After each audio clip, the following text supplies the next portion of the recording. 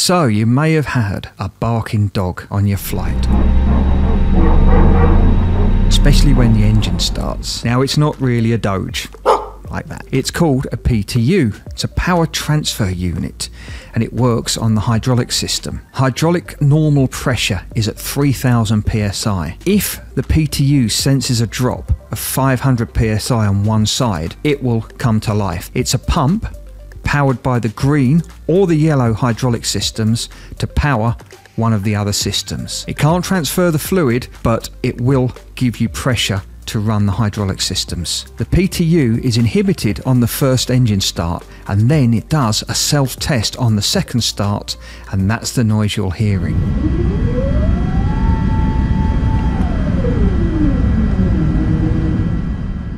So the next one is your flaps. They're on the wings. You get flaps out the back and slats out the front.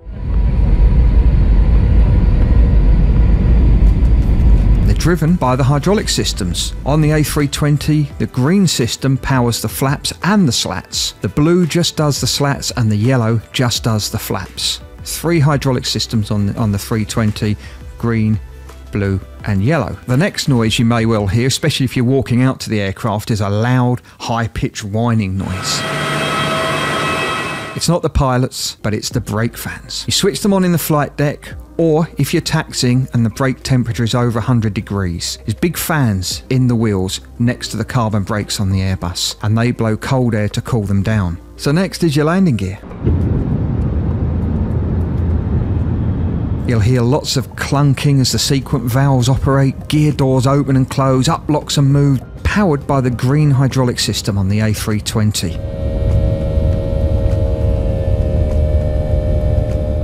The next noise you'll hear is the thrust reduction. At around 800 or 1000 feet, the aircraft will enter what's called the acceleration phase. The nose is pitched down to around 10 degrees from the 17.5 it would be after takeoff, and the thrust is reduced.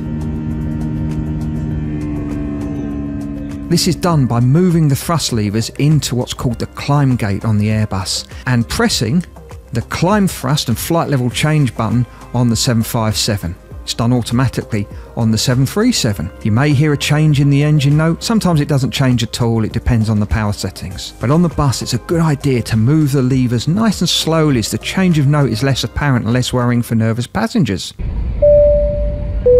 Cabin pings. So you'll hear various pings from the interphone system in the cabin. Some will be passenger call bells, some will be calls on the interphone system from the flight deck to the cabin, or within the cabin itself from the front to the back. So as you're coming into land, you may hear a funny noise from the cockpit if you're sitting forward enough. It will be the autopilot disconnect alarm. So you have different sounds for it. The Airbus one sounds like this. The 737 one sounds like this. And the 7571 sounds like this. When you hear this sound, you will know that the pilot is now flying the aircraft manually and not the autopilot. So that's it, you're now fully clued up on all the sounds that you're going to hear when you go on your holidays. And we'll see you on the next Pilot Explains very soon.